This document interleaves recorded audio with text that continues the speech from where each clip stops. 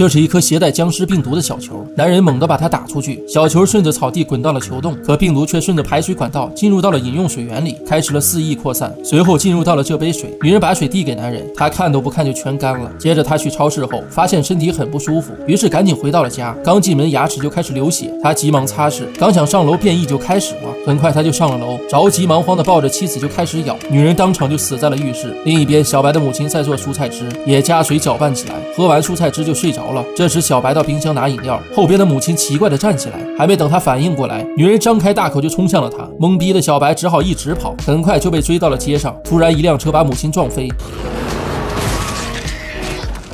司机强叔说：“你的母亲已经变成了丧尸，赶紧离开这里吧。”这时又冲过来几个丧尸，强叔赶忙开车跑路了。小白好心把母亲拖回家，把门窗紧闭，又把母亲锁到浴室隔离。这时的小镇已经彻底沦陷，为了防止丧尸冲向城市，他们直接把大桥炸毁，电缆也被炸断。小白看到后陷入了绝望。随后他走进卫生间，想给母亲吃点菜叶，妹妹从后面爬了起来，他一转身，孩子已经跑到了母亲身边。小白赶忙用菜叶吸引母亲，爬到客厅的时候，母亲碰掉了电视柜的腿。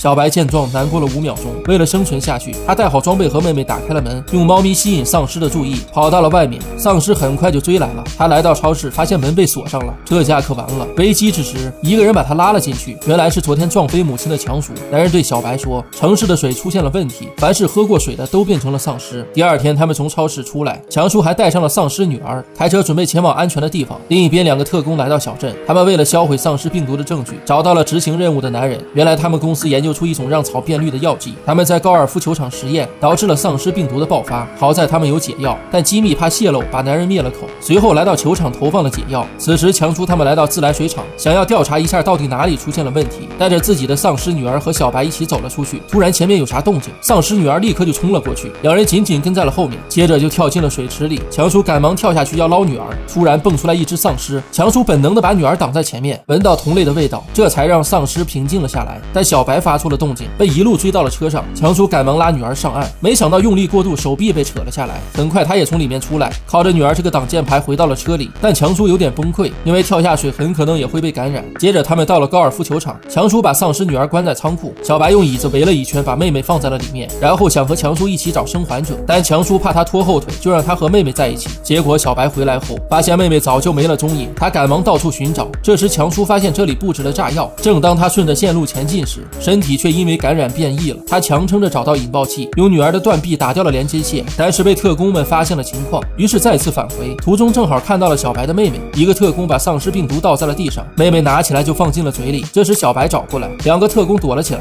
他抱着妹妹刚要走，特工就出来了，捂住妹妹的嘴准备灭口，结果妹妹突然变异，一口咬到了特工。变异的强叔也冲了过来，小白倒退了一步，正好踩在了丧尸解药上，白色烟雾弥漫了整个屋子。这时强叔开始追击起了小白，可马上要下嘴时却停。停止了攻击，原来解药正好起了作用。随后他们一起躲进了仓库，然后用手机拍了视频发布到了网上，一下子就上了热搜。姨妈也看到了新闻，军队立刻出动展开救援。等到小白出来，救援队已经到了，妹妹也恢复了人样。可她看到活人竟然也被一起射杀了，恢复正常人的强叔也没能幸免。小白绝望地跑到了另一边，突然他看到了熟悉的人，赶忙用断臂挥舞。原来姨妈开着小船迎接了兄妹俩。最后小白把断臂扔到了水里，一条鱼吃了两口就走了。电影到这里就结束了，看来以后还会出续集。好了。我是小帅，我们下期再见。